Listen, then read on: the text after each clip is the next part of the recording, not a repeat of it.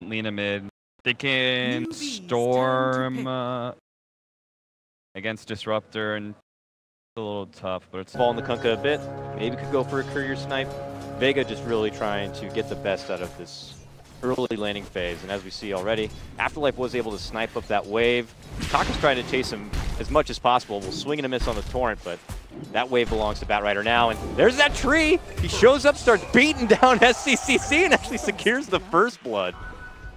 Oh, and a courier's coming. Root the courier and take it down. Oh, one more punch. Boom! Man, that tree hit so freaking hard. Courier's got have a good interrupt for the epicenter if they have like Oh, the man. ice path follow up. SEC is in serious trouble. They're going to drop down the obs just to get the extra bit of vision, but look who's getting involved. It's Silent showing up. A force rotation is going to be there. The Sonic Wave is going to be committed to go for the finish. A rotation does come out, but they Probably get like five gold for killing him. yes, right. He is way down there. Uh, but it looks like he will have his life saved. It's, it's, it's what, 50 plus like net worth divided by 40 or something? Kaka's dead.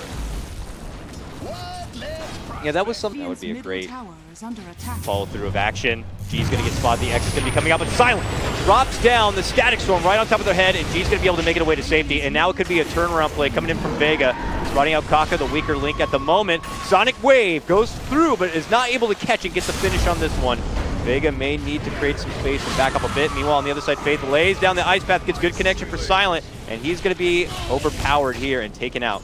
KP will be able to pick up the last hit, and it is Right after it hit. Radiant structures Uh, looks like Troll might be able to get this tower on top, and Newbee are lacking a lot of ultimates. No, Sunstrike set up with the burrow. Troll trying to run his way out, but it does look like the Bear's able to get a grab That's on a him really- on the other side. Samuel peeks in and paints it out. They know this is happening now.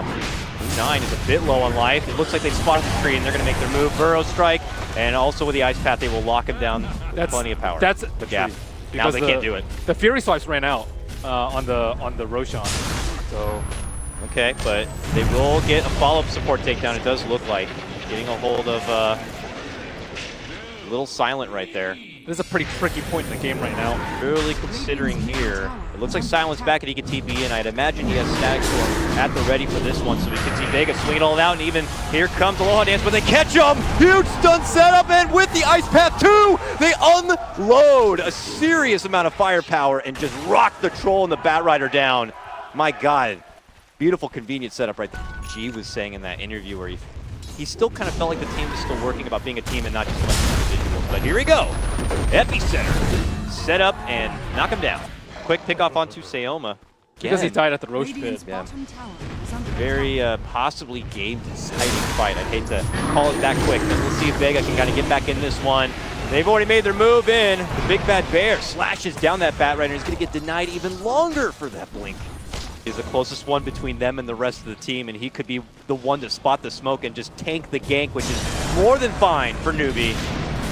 All right, you know how to tame a dragon, but you know it's it's not the worst thing in the world. With ult is okay versus BKB. Queen ult, uh, Bat Rider ult, and Free ult, but they don't have any damage to BKB. They get a pullback. It's on Kaka. They will take down the Kuka support.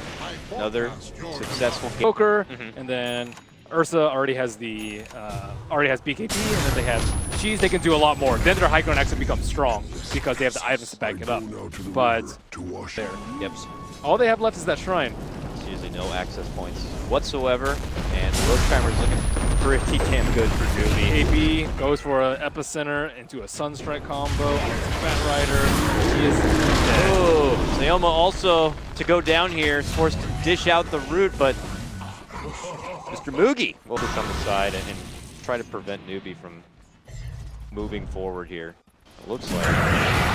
Okay, moving in now. Oh, Rollins just shreds apart the Kunkka. With the power of the BKB, he just walked past the ice path. They're able to get the lasso catch and grab and takedown of SCCC, and it's going to be Vega looking to unload. They wipe down three. They'll only lose a disruptor. Just a try to move in and get a good fight and then maintain the area of the Roshan, take it for themselves. The smoke's popped. The detection's ahead of them, but they are going to be able to try to make the jump there for the troll before he has the BKB go off, but he gets moved out of the way of the path, pops his BKB, turns around, and Mance fights the bear. But the bear is able to shrug it off a bit, but now gets locked in his place with the bash. And it's just Aloha Dance going crazy right now. He's able to shred right through the bear. Faith goes down two, and it is going to be a quick escape coming out from SCCC. that a force? It shoved him like away from the trouble. He was able to get the BKB off, and now they're able to spot out SCCC, and they finish it too. This Vega are coming though. They're one that's looking to press things forward and try to maybe consider high ground push. SCCC moves in with the bungee. They send them back before the X even is committed. They will get the finish on tier two, and then suddenly it's going to be a jumping from Afterlife. The pullback's there. They quickly stop him in his tracks. Now it's going to be Moogy looking to go in, and he gets the finish. Meanwhile, running on forward, it's going to be the Troll. He is doing work onto the Invoker. He's trying to run out the other side, and he will be fine. Now a new approach from Newbee. KP gets the stun, but the Troll gets a living armor. Is able to run clean away. Glimpse on back, and this. All right. Now it's going to be Newbee defending.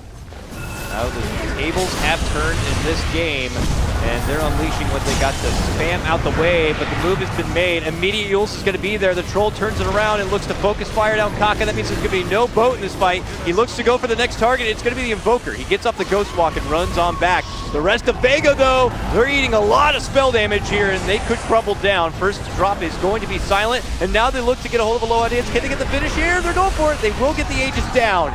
They get the follow-up takedown on G, and Newbee could quickly gather around and get the finish on the Troll 2, and it looks like they will. Newbee have been able to hold the high ground and get the better end of this fight. Invoker had a buyback though. They, but I think it's kind of necessarily given the lineup. Yeah. Lots of CC, lots of lockdown, lots of Euls and all that. Jumping commitment here from Afterlife. They're going to go for the pullback play, but again, he's going to get Euls up right away. They're going to drop down the Macropyre in this choke point patrol. He's running in, he's got a double damage, and he just okay. severs down D. Jakiro, really no chance at all survive, but Newbie are able to create the space to make it out, and now they have a new approach moving in. They're going to get a hold of the Queen. She is able to make it away. Living Armor will also help her out. Need to wait a little bit longer. It looks like and the rest of you are smoked Trolls up. mid. KP, long jump to get it. His team's waiting behind him here a bit. They're going to lay down the Ice Path in the Macropyre. Now, Afterlife able to move in there. They don't quite catch him with anything, so he gets the full pullback Oh my onto gosh. the bear and burst him down. No one could stop the bat. I take back what I said about Batrider. he doesn't have shows you. BKB. He shows you. He goes in without a BKB and he gets it done. And they're looking to do more, but look at this. Turnaround KP. Epicenter is going to be there. And G now begins to move in. He's got his BKB. He's unleashing everything he can. Maybe going to get forced back a bit. On the other side, Abyssal Slam Down comes out as the buyback return is going to be there for U9. Good burrow approach. Can they get the finish? Troll's able to run out the other direction and sidestep the tornado. And he's heading all the way back up the other direction, but the chase is on. Can G be there to help him out? KP dives on forward a bit, while on the other oh, side. Oh, you know who used that shrine earlier? Oh, it's G! Oh my god. They take That'd down be KP. so e- Dead set on that troll in the mid lane. It's just Troll's the Bat Rider came in right from behind and took him down, and now it's Troll inside the pit, looking to go for the finish, but suddenly Newbee jumping to action right now. They are going to get the lasso grab to hold and tie down the bear. The Roach is going to get dropped, and it's the Troll who picks it up. But he could end up losing that Aegis life right away. He gets blasted out from the pit, and right next to the arms of Newbee here, he is going to ditch out the Tomahawks, look to stay alive. He manages to get the turnaround finish. Takes down the Ursa. He's going to be out. Dieback for him. The rest of Newbee scramble to potentially make it away, but not before other casualties. Kaka also going to I, I actually, I still can't believe he got that clutch ass lasso when everyone could have stopped the the pullback. They just weren't expecting it. Also, even Ursa could have built a, an X to deal with the lasso. Burrow's coming up from KP. A new lasso's going to be there. It's a pullback for SCCC, and he's suddenly gone. An immediate buyback will come out, but this is the final hurrah potentially for Newbee to defend. They're already going to be losing this top set of racks. Vega will leave the catapults to finish the job, and they're moving on to the next horizon now. A new tier 3 will form, and there's still no Ursa for about 35 seconds. It's all on the Wizard. SCCC dishing out everything he can to slow them down. KP moving into action. They drop down the Static Storm, and he gets the self-heals off, but he's going to pop into a new silence. Macropyre also going to be committed and dropped. They pop the dust to scout him out. SCCC puts Oh, his God, focus though onto the troll, hits with a cold snap, and will be able to get the Aegis down. Vega, low on mana from the others. Troll can't move out from the ice wall while G moves into action and quickly snipes down Kaka, put back into the grave. G, can he make it out though? He already blinked in the action, is low on mana. Dueled up, ice path there from Faith, hits him with a dual breath, and the abyssal follow-up will be there. G also gonna be going down, no buyback for this man. Sayoma Oh can't make it away! They catch him with the burrow, and he's gonna be going down too. And Troll's like, "Ah, I got the shrine. in a normal game because of the dispel on the Mjolnir. Like once you have Mjolnir and the spell lifesteal, you're you just lifesteal insane amounts. But Jump in from Moogy, an immediate takedown of the Disruptor. No Static Storm. We'll be here for this defense. what level is he? Oh my goodness, this is up so quick. Macro Fire. Moogy moves in. He wants a tier 3. There's the Troll shadowing up forward, and he's looking to man fight here with the Troll ulti, but he gets hit right away. Has to step out the other direction. Not looking to commit a BKB too early. Now the lasso grab pullback onto Faith. Faith will get himself Euls, but Kira's going to be going down. Not a juicy kidnapping there, but Once you force out BKBs, you're not going to be as strong because your cooldown won't be up as fast. stun here from KP. He had already been X'd up. Bungeed on back. They actually conveniently catch down the Troll. Meanwhile, Silent quickly obliterated as the Troll was locked in his place. Nice hit and run right there, and it's going to be Newbee with the numbers advantage. KP in and right back out, while in the mid lane, they get a good setup here for the tree, and they could suddenly get rid of the support staff. The follow-up lasso's there, but the bat's trapped inside. G's looking to make his move in and trying to go for the finish of KP, but KP gets the Euls off and avoids that trouble. G now suddenly was short on mana. The Troll is trying to scratch the back of the bear, but can't get enough done through that ulti. The Torrent's going to be going out. G's now the one in trouble. The bear doesn't end up going down. G's trapped with inside and finally gets popped. Good tornado gets the catch onto the tree. KP comes on in from the backside with a good epicenter. Will help them get the finish and the takedown of the tree. And now from SCCC gets the focus onto the troll, evaporates all of that mana. And troll Really need a Euls to deal with the X though. It's crazy how much KP is able to get away with because of the X. Yeah. A tornado onto the bat as he heads to the other side. They're going to catch him with the burrow and the combo coming out. The Invoker definitely blasts him out of this game. And now they're looking for a new approach, looking to go for Moogy before SEC can come around the corner. He's fending off a lot of the damage. The Static Storm going to be dropped right on top of the Invoker, but he steps away from it, turns around, and begins to go to work onto the Troll. They slash him from behind. He's going to get forced on forward. He's able to get up the Tomahawks and tries to get a hold of Kaka, but now he's surrounded and he's getting kited down. The Sheep is going to lock him in his place. They are able to get the finish onto U9, though, who is out for good. So if they could somehow take down this Invoker, it would be a huge boost for Vega, but he slips out the other direction. Meanwhile, though, G takes down Kaka. He's out. 1,000 gold banked up. I imagine he's got his buyback available to him now. So they're going to have to take him down twice like the last time. A move in. This time the Bat does have that BKB, and he's able to get the pullback on KP. KP does have a buyback, though. And he uses it right away. Now the attention's going to be on the tier 3. There goes the glyph. Trying to creep on in. There's a burrow. Gets connection onto G. SCCC tries to focus down the Queen of Pain if possible here. She does not have a buyback, tries to go for it, but then that's when G pops the BKB, looking to make his move in. He tags the Shrine and tries to heal on up. SCCC makes the other direction. Tornadoes are flying here, but look at G. He's been going to work onto the racks. It looks like they are going to be able to clear it out. If Vega could get this and walk away with their lives, it already feels well worth it. It's still going to be about 25 seconds before U9 is back into play. And Vega have already gone to work on the third tier 3. They already got it down.